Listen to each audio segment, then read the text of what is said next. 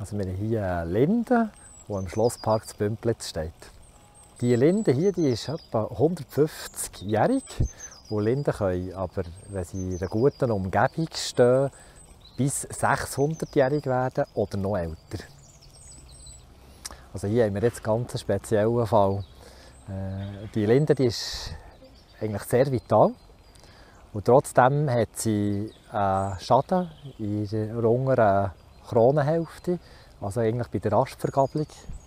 Und dort hockt der holzzersetzende Pilz drin. Also der tut eigentlich die, Gab, die Vergabelung, die eigentlich stabil sein und Stabilität der Krone geben, tut es schwächen und das Holz zersetzen.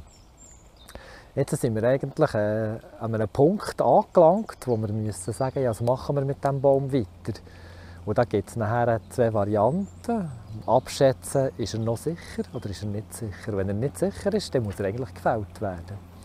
Und das ist er jetzt eigentlich. Aber das ist ein, ein Baum, der uns sehr, sehr wichtig ist. Also wollen wir diesen Baum eigentlich möglichst erhalten.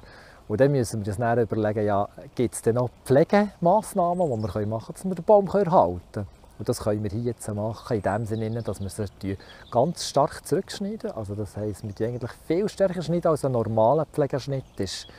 Dass wir das Kronenvolumen verringern, also dass die Windangriffsfläche kleiner wird. Und das können wir nur machen, weil der Baum eben vital ist. Und darum machen wir so in dieser Jahreszeit, dass er näher reagieren und neue Blattmassen machen kann.